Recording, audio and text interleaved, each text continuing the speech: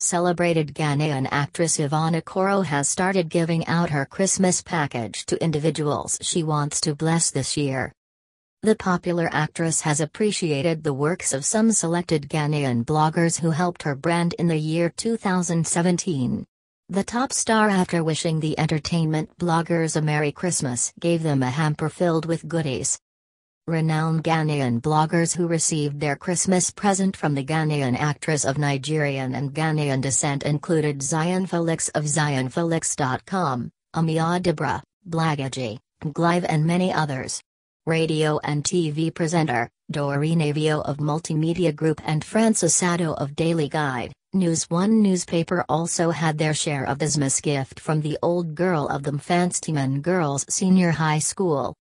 The hamper Miss Okoro gave to the media men contained drinks, wines, biscuits, chocolates and many other edible materials. Bloggers who received the gift from the contract actress took to Instagram to thank her for the kind gesture. Yvonne Okoro, an actress cum movie producer in 2017 started a new show on GH1 TV, Dining with Cooks and Braggarts.